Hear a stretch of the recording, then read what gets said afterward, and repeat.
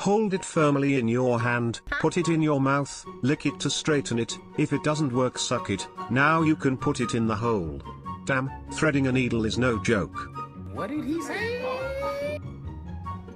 I remember uh, doing that when I was in um sewing class. I actually did do fashion design. I was thinking the needle the whole time. So nice try.